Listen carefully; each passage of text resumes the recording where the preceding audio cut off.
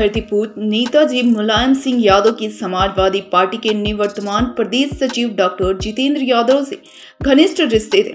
24 नवंबर 2022 को डॉक्टर जितेंद्र यादव और डॉक्टर अनीता रंजन के विवाह समारोह में पहुंचकर नेताजी ने आशीर्वाद दिया था। नई नवेली दुल्हन बनी डॉक्टर अनीता रंजन को आशीर्वाद के रूप में एक लिफाफा भी पकड़ाया गया था।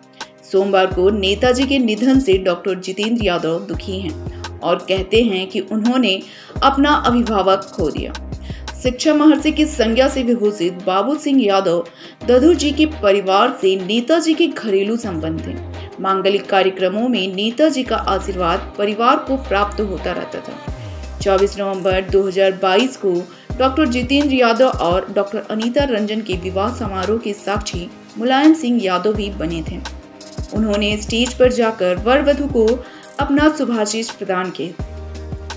नेताजी ने इस समारोह में काफ़ी वक्त दिया था और डॉक्टर अनीता रंजन के भाई राजेश रंजन उर्फ़ पप्पू यादव से राजनीतिक वार्ता भी की थी। उसके बाद भी कई बार मुलायम सिंह यादव, डॉक्टर जितेंद्र यादव और उनके परिवार से मिले। सोमवार को नेताजी के निधन के बाद डॉक्टर जितेंद्र यादव ने गहरा दुख व्यक्त किया है। उन्होंने कहा, उनका होना ही समाजवादियों में विश्वास और जोश भरता था। वे अपनी बातों से समाजवादी पार्टी के कार्यकर्ताओं में जोश भरते थे। आज ऐसा प्रतीत होता है, मेरे सिर से अभिभावक का साया उठ गया।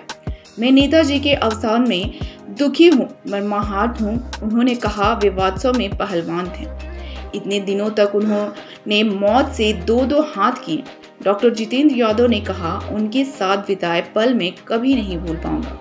ईश्वर पूजनीय नेताजी की आत्मा के श्री चरणों में स्थान दें और पर्वत समान पीड़ा से उबरने की शक्ति प्रदान करें। देश के लिए यह अपूर्णीय क्षति है।